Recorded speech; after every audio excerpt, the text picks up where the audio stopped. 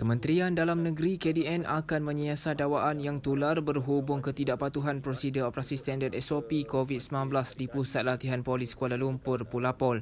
Menteri Dalam Negeri Datuk Seri Hamzah Zainuddin berkata segala tuduhan dan dakwaan itu akan diselidik terlebih dahulu sebelum sebarang tindakan diambil. Kalau ada arahan yang menyalahi undang-undang, kita akan ambil tindakan kepada pegawai tersebut. Beliau berkata demikian bagi mengulas mengenai video tular berhubung ketidakpatuhan SOP di Pulapol.